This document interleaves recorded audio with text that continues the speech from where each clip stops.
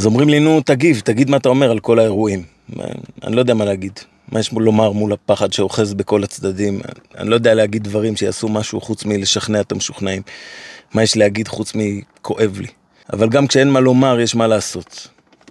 לקחתי את הבנים שלי בערב הצום לנגן איתי בבית החולים הדסה עין כרם. עברנו בשתי מחלקות פנימיות, ביקרנו חולים שיישארו לבד בצום. שרנו איתם את מה שהם רצו לשיר, שרנו יורם גאון, שרנו במרוקאית, שרנו איש ריבו, וגם קצת סליחות.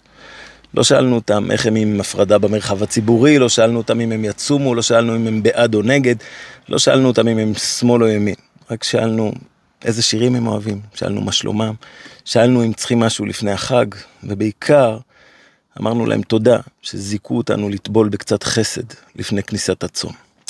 ואל תתבלבלו, לא עשינו שום דבר מזה בגלל שאנחנו צדיקים גדולים. הצדיקות היא ממני והלאה. לא עשינו את זה כדי לתת, עשינו את זה כדי לקבל. לקבל כוחות שאיתם נוכל לצלוח את תחילת השנה החדשה.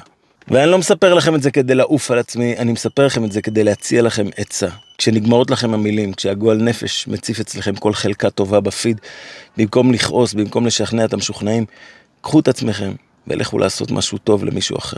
טוב פשוט כזה, לא כדי לקדם אג'נדה או כדי לשנות אותו, פשוט כדי לעזור. טוב שאי אפשר יהיה להתבלבל בו ולפרש אותו אחרת. ולא כי אתם צדיקים גדולים, אלא כי הנשמה שלכם צריכה את זה כמו אוויר לנשימה.